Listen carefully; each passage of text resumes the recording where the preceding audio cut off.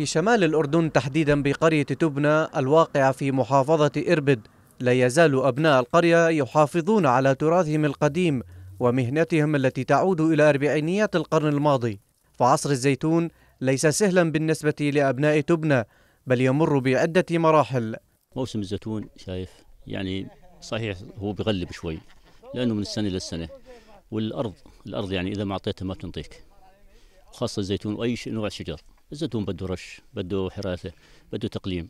يعني إحنا يعني التجهيزات بنجهز قبل الإفراط هاي الرئيسية اللي هو بننظف تحت الزيتون. طبعا إذا كان تحته شيء إذا يعني في شوك في شغلات آه، بنجيب عمال بنجهز مفارش على الشكل هذا طبعا إحنا الفراط يعني تقريبا يوميا يوم بعد يوم إحنا نفرط ونحصر ما بنبيت الزيتون.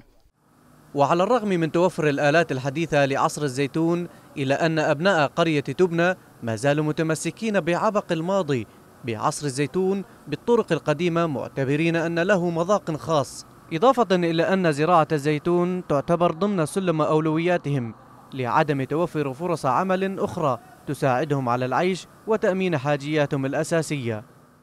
هاي المعصرة أخذناها هاي إلها عندنا من 40 سنة من, من أول. شايف؟ وإلي إلي بشتغل بيها 20 سنة. وهاي المعصرة الحمد لله رب العالمين طريقتها كالتالي. طبعا بعد قطف الزيتون عن عن ثمار الزيتون عن الزيتونة طريقتها يتم نشره أو نشره على ظهر الأسطح لمدة أسبوع أو أو أسبوعين. وبعد ذلك يتم نقله تجف الزيتونة ويتم نقله إلى المعاصر هاي المعاصر القديمة اللي هي معصرة إيطالية قديمة.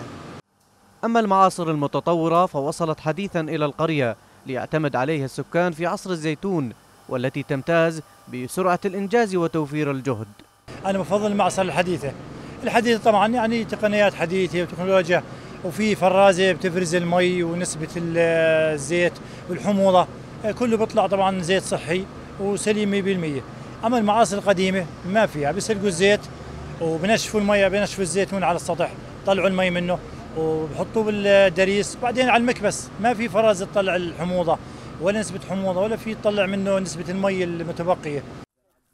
مع أجواء الشتاء الباردة يعود موسم الزيتون ليلم شمل العائلات التي تجتمع على قطف ثمارها لعصرها وبيعها والاستفادة منها.